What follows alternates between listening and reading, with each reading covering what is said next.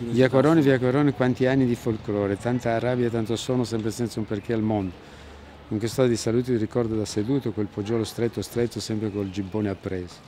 Poche strade, tanto sonno, ciao San Paolo. Vecchio mondo, gatti bianchi, gatti neri, gatti dentro ai tuoi pensieri. Era un, un, una strada stupenda e molto viva, come se fosse stata una grande famiglia, capisci? C'era Nico che faceva lui la cacca con tipo bignè io li apro a 500, lui li fa la cacca nel sedile, io mi infilo in negozio, tiro giù, sarete lì.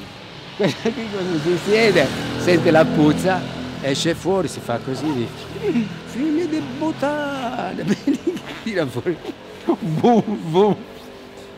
Di mocciosi adolescenti di Acquarone stringi i denti, tu che sarai sempre casa, le tue palme, la tua strada.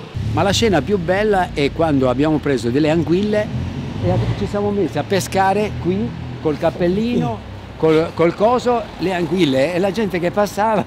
Mettevamo l'anguilla nell'anguilla nell'amo e poi la buttavamo nel, nella foglia. Lui si metteva lì seduto col cappellino e faceva tum! E la gente lì, c'è, c'è, sì, sì, tum! E questa anguilla che porca troia!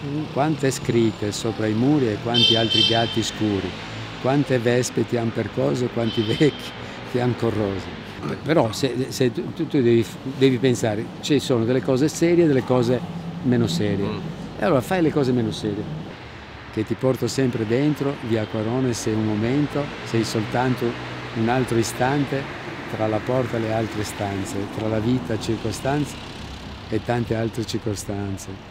Un bellissimo ricordo, cioè chi ha vissuto qui, anche se è andato altrove, ha questo ricordo bellissimo di via Quarone proprio perché è come se fosse una, un paese, esatto. È rimasto ancora quartiere ancora adesso, Alcuni, alcune famiglie quando ci si incontra è come se fossi di casa, ecco, capito?